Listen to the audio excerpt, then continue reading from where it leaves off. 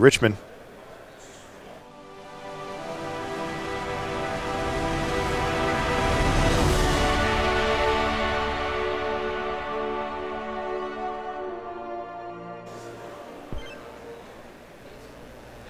Hello and welcome to coverage of Grand Prix Richmond. I'm Marshall Sutcliffe in the booth with Reed Duke, and we are ready for the finals. We've got Mike Sigrist on blue black mid range facing off against Alex Hahn on a black red aggro.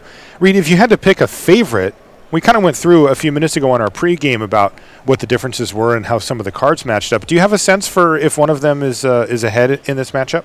Boy, it's very close. Okay. Um, this matchup is very close. I, I think black red is a little advantage in the matchup, but a blue black player could not have made it this far in the tournament without having a very, very good winning record against black red aggro. Um, so I think the matchup is close enough that the fact that Mike Sigrist is on the play for game one and the more experienced player of the two, I'm picking him to win, uh, not based on the cards, but just based on the positioning and, and who he is. Okay. Good start here for Sigrist, by the way. He has Aether Hub into Siphoner, and that gives him the two energy needed to cash that in for a life and a card.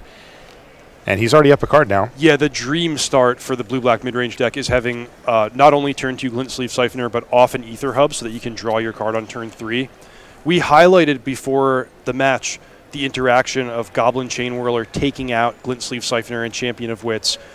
That's something that changes a lot based on the play or the draw. And here you see with Mike Sigrist on the play, he's able to get the siphoner and draw a card off of it both before Alex Hahn even has three mana. Mike si- signaling his intent here by not attacking with that glint sleeve siphoner, saying, "You know, I'm in the in the market for a trade," and Alex obliges him. Sigrist is now deciding what removal spell he'd like to use on Kari Zev. He also had Supreme Will at his disposal. Yeah, so Mike just everything going the way he wants it. Um, he's got the siphoner on turn two, already gained value off of it. Multiple options available to him on turn three. He's got his fourth land all set up, so everything's going perfectly for him so far.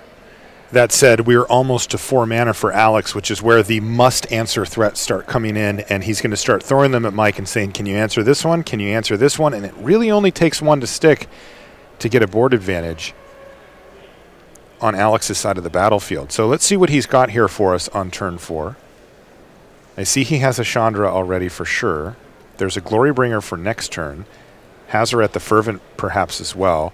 He's going to go with the Chandra. So Mike has the option to counter this with Supreme Will, which is what he's going to do. But if you saw Reed, he also has one of the key cards in the matchup, Vraska's Contempt in hand too.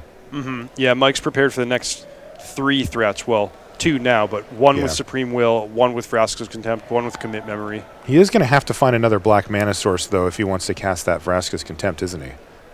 True. He did pick up a swamp. He also could take the long route of Field of Ruining Alex Hahn and searching for a swamp. By the way, I was watching Mike play his semifinal match, and boy, he plays those Field of Ruins like a violin, my friend. I was really impressed with that. He was able to cast Commit twice to set two very valuable permanents on top of the library, and then from his hand play Field of Ruin and just shuffle them away. And boy, it went from pretty tense because it was like, hey, those things are coming back, Mike. Like, and he used it as a way to just get rid of them permanently, was, or at least semi-permanently. It was really impressive. Okay, here's Glorybringer now for Alex Hahn, which is allowed to resolve by Mike, but that's only because he already had the answer in his hand with Vraska's Contempt. So once again, things going right, uh, the right way for Mike Sigrist. What happens though when he wants to start taking over again? Right. I mean, he's playing the control route here, just keeping everything at bay. What happens when he starts to turn the corner? Well, that card that he just deployed, Champion of Wits, that's a big part of it. 'Kay. That can both dig him to action or eventually, you know, you figure against a red based aggro deck, it's going to find its way into the graveyard. And as soon as Mike has seven lands, nothing to do with him, he can restock his hand. So the game plan for Mike is trade, trade, trade, trade, and then once he's done trading, once he's taken a little bit of the wind out of Alex's sails, then he's going to use one of his big get ahead type cards like Champion of Wits or the Scarab God. This was super interesting here from Sigrist because I think he was really hoping that there would just be one big threat left for Alex because he's leaning on this Doomfall. But there are two, so Sigrist gets to take care of one of these. And then Alex gets to untap and say, okay, well, I'm going to cast the other one. Both of them very difficult to deal with. He's going to let him keep the Phoenix because of the uh, immediacy.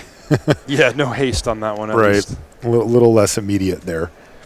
I think Alex just drew another Hazoret.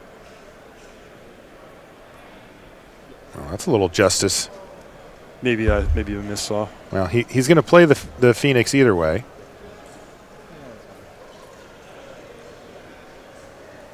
Interesting. Mike discarded commit memory He's caught another Vraska's Contempt in his hand, and this could be a pretty good turn for him as well. I think he drew a glint sleeve Siphoner.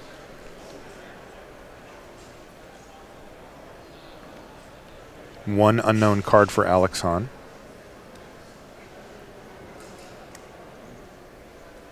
There's a Siphoner. I guess there's no real reason to fire it off right now.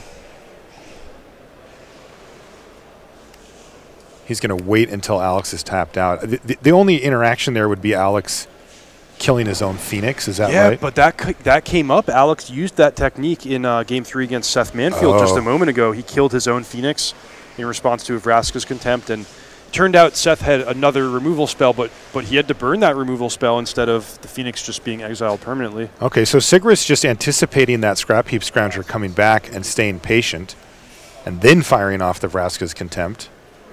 Nice tight play there from Siggy. Absolutely.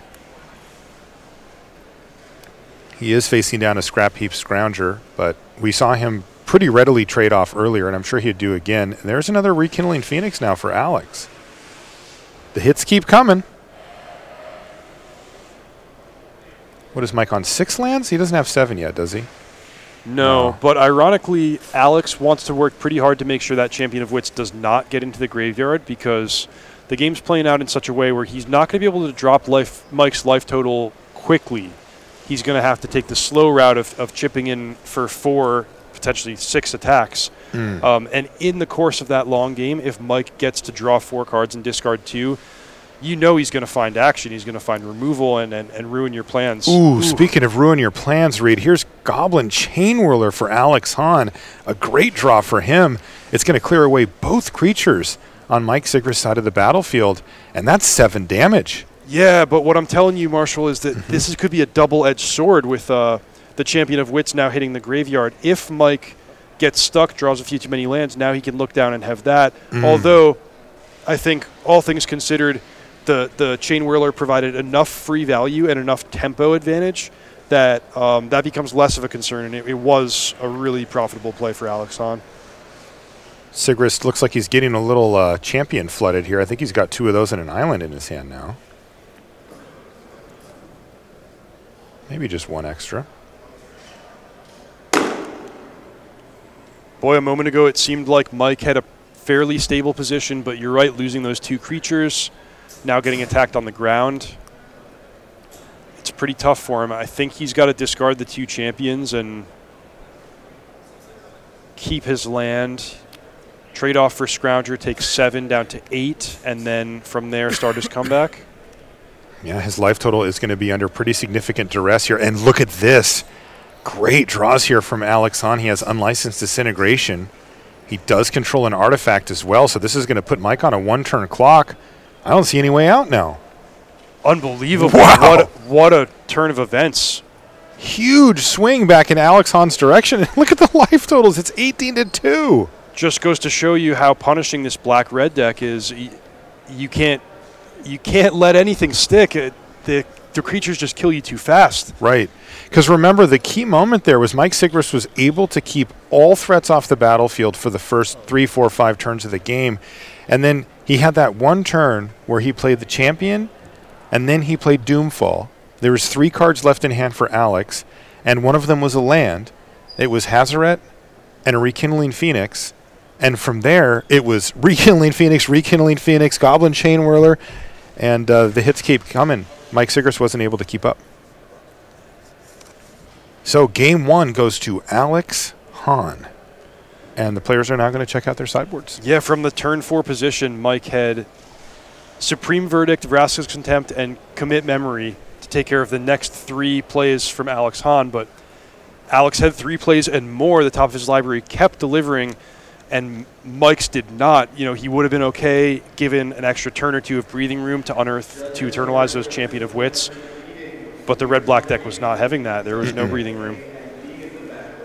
And of course, you know, it is worth mentioning that that is one of the big benefits to playing the deck in the format that simply has the best cards available, right? I mean, there's a lot of other cool synergies. There's a lot of good build arounds in standard right now. People are playing a lot of different decks. But the deck that has the individual highest average card quality is certainly this red black deck. And we got to see that there. Sure, Mike dealt with a bunch of stuff, but there was a couple things left over, and they're just extremely powerful. When you look at other decks, even like the one that Mike is playing here, you know, if Alex had a, if it, things were reversed, he might be facing down a 2 1. Like that could have been the leftover card for Mike.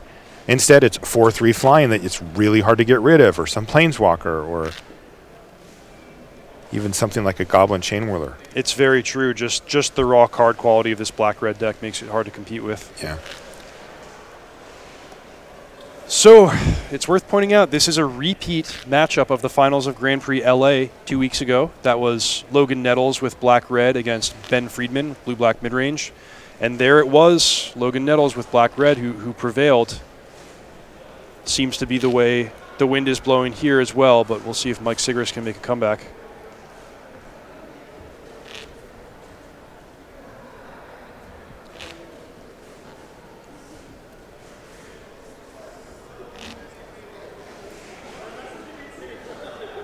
Siggy on the right hand side of your screen getting shuffled up and ready while Alex Hahn just finishes up his sideboard plans. It looks to me like the bigger changes will be on Sigrist's side after sideboarding. He'll be bringing in any combination of cast down, double essence extraction, infernal reckoning, um, and potentially changing his conf creature configuration a little bit. But those four extra cheap removals coming at the expense of probably the glint sleeve siphoner um, whereas Alex Hahn, no structural changes. He can turn to Magma Spray if he would like, a nice clean answer to Champion of Wits. Um, he's got another Glory Bringer that I would expect to come in. He could choose Doomfall if that's something he's interested in. And I think his weakest card might be uh, Rekindling Phoenix, unless he wants to trim some of his removal. Abrade is, I guess, a flexible slot as well. Remind you, these players are playing for quite a bit of money here. $10,000 is going to go to the first place finisher. And uh, they're going to get eight pro points as well as a trophy that they get to keep forever. Sigrist has been here before. He is a GP champion.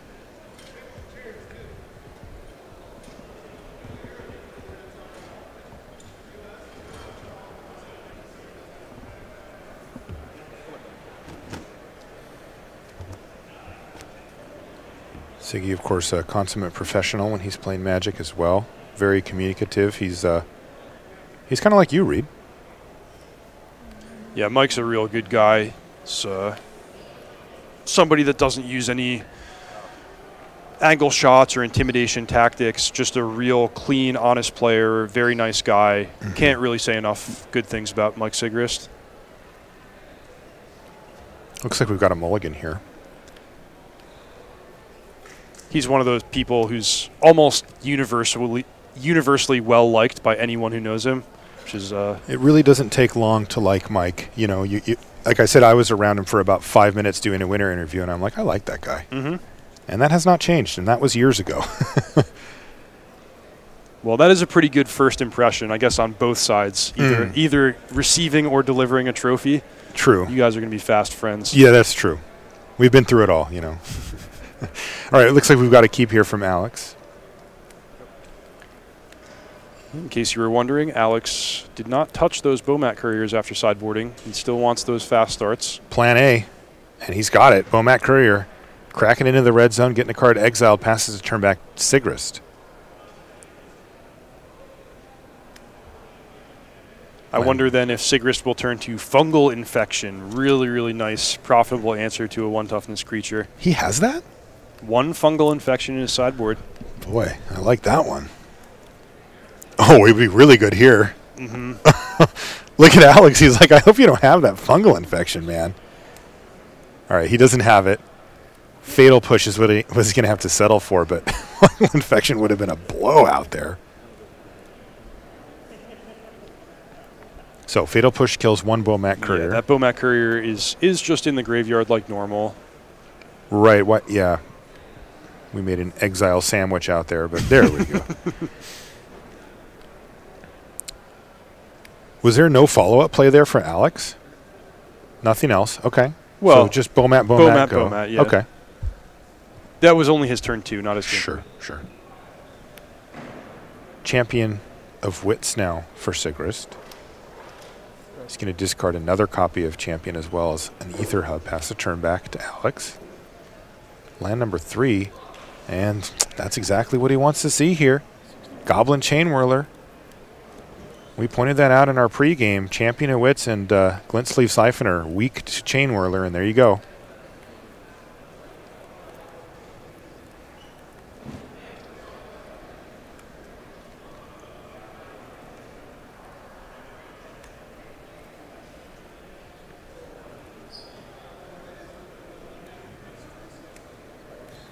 Sigrist is going to play Sorcerous Spyglass here.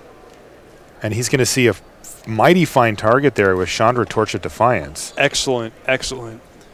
We saw Sorcerous Spyglass do some some pretty bad work, some poor work in uh, the quarterfinals, um, where it, it didn't reveal anything to uh, to shut off. But here it's perfect, a preemptive answer to Chandra, which we had talked about the dynamic in this matchup where the black red aggro player gets to play Chandra, kill something on the opposing side, and then Mike Sigrist has to use a removal spell after the damage has already been done. But here, a preemptive answer is fantastic. And the bonus, the icing on the cake, is that it shuts off any future Chandras that Alex Hahn might pick up. Alex plays his Aether Hub, giving him land number four. And it looks like he drew Kari Zev for the turn. He also has Doomfall in his hand, but he's decided just to get out on board here rather than worry about what Mike might have going on in his hand. Oh. Cycle a Censor. Looks like Mike's trying to find another copy of uh, of Fatal Push or maybe even that fungal infection we mentioned. We've seen a lot of But no. Doomfalls over the course of the day, but something to really stress about that card is it's at its best when you can answer a card that your opponent has already invested mana into. See, on that turn, Alex Hahn could have spent his whole turn, spent all of his mana, mm-hmm. and taken away a card from Mike's hand, but then Mike just gets to cast his second best card. So focusing both on the long-term planning and the tempo aspects at the same time w- will lead you to, to make the best decisions with Doomfall. Mike has land number five here. What does he have to play? Cycle another Censor. He did take four damage last turn from the Chain Whirler and the Bomat Courier. He's down to 12. One of the weaknesses of the blue black mid range deck is it doesn't really have a reset button. It's more focused on one for one answers. And uh, if, if the board spirals out of control like it's starting to do here, Mike Sigrist facing down three potent threats. If he can only answer one per turn while taking massive damage or letting more cards grow under that Bomat courier, um, then it's really hard for him to come back one removal spell at a time. It looks like Alex doesn't have anything else to do, so he's going to go for the Doomfall now. Take a look at Mike's hand, but Mike is going to respond. He did actually find a Fatal Push now. Does he have anything else to do? Oh, Scarab God gets exiled and leaves Mike with just a land. Here's four more damage. Mike's going to be at eight, and he's top decking. Yeah, Mike needs Mike needs a lot of help. He needs a big draw here, and then after that, a seventh land might be okay to, uh, to eternalize the champion. But he cannot pass the turn doing nothing this turn. Okay, he's passed the turn yet, but perhaps he has an answer for one of these threats. An instant speed answer, that is. Gear Hulk, Yeah. Contempt. Those are the type of hayma- haymakers that he needs. Gearhulk would be amazing here. But he just takes the damage. He's down to four. Is this one slipped away from Sigrist? Another land for him, and all he can do is eternalize the champion of wits. Oh, and there it is! Unlicensed disintegration with the trigger on the stack, and Alex Hahn wins Grand Prix Richmond. Wow, fantastic stuff. Uh, Boy. Game two looked like it was more or less according to plan. He had the nice start with double Bomat Courier curved out well. Sigrist missed a beat. But game one was the one that really impressed me there, where he was able to make a comeback, fight through all of those removal spells.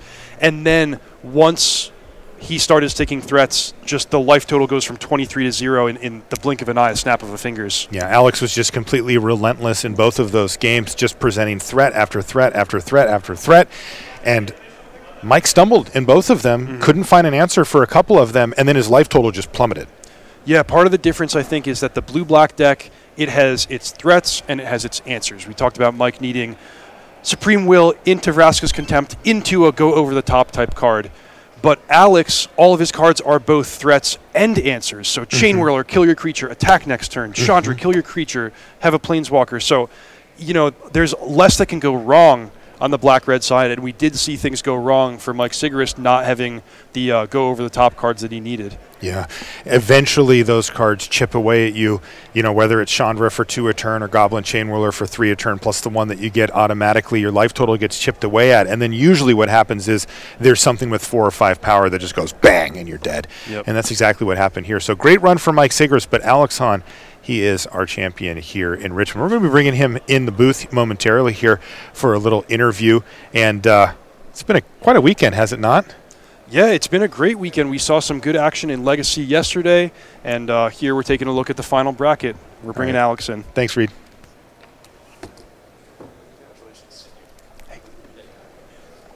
Put this thing on there, Alex. And we'll get you in here for your winner interview. Yeah, just like that. And there you go. Alex, welcome to the booth. Congratulations, man. You are our champion here in Richmond. Let's get this nice trophy in the shot as well. Boy, you did not have an easy road there. In the semis, you had to beat. Uh, you had to beat um, Seth Manfield, and then you had to beat Mike Sigrist after that. They just lined him up, but you just knocked him out. Greatest upset of all time, probably. What do you say that for? You you Yeah. crushed him. I don't know. I, those guys are just so good. Couldn't believe it. Yeah, you, you did have the hardest road through the top eight. We've been taking a look at the bracket, and I'm just like, wow, that looks rough. You had to beat Joel Sadowski and then Manfield and then uh, and then Sigrist, but you did it. What made you pick your red black deck? You know, it's kind of the deck in standard. Did you do any tweaking to it? What was your thought process there? Well, I've basically just been playing it the whole year, so it's Mm. the deck I just felt most most comfortable with. Okay. And what's your stat right? So you qualify for the Pro Tour from this top eight. Um, where are you? Are you trying to get to silver, gold? Like, what, where are you at on the, the pro scene here? Uh, I think I need a top eight to hit bronze, and Oh, I guess I got there. Congratulations! That's great. So we'll see you for sure at one pro tour, and I, I like uh, your chances of hitting another one as well. Congratulations, man! Great job. I appreciate it. You got the trophy too, and you get to take home all that money and everything as well. Yeah. Nice work. So that's going to do it, of course, for us here from Richmond. Quite a weekend. Thank you so much for joining us for it uh, and for going for our experiment with uh, GP Reed Duke. We had a great time doing it. Really appreciate all the feedback that we've gotten for that. Thank you so much for that. I want to thank everybody here that helps make these tournaments possible in the room. Alex, you know, the judges and the staff, boy, they are indispensable when it comes to making a GP run. Thank you so much to everybody here from Channel Fireball Events and the judges that help make these things possible. And of course, Thank you to you. Thanks so much for joining us. We've got GP Detroit next weekend. That is Team Unified Modern, and we're also bringing you coverage of Japanese Nationals that same exact weekend. It's going to be a jam packed weekend full of live and recorded magic for you. Thank you so much for joining us. We'll see you next time.